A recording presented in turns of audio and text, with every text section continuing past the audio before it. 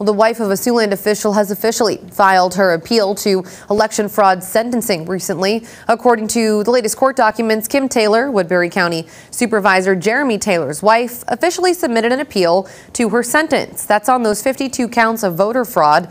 This was filed today. And this just under a week after court documents state her defense attorney asked to withdraw as her counsel.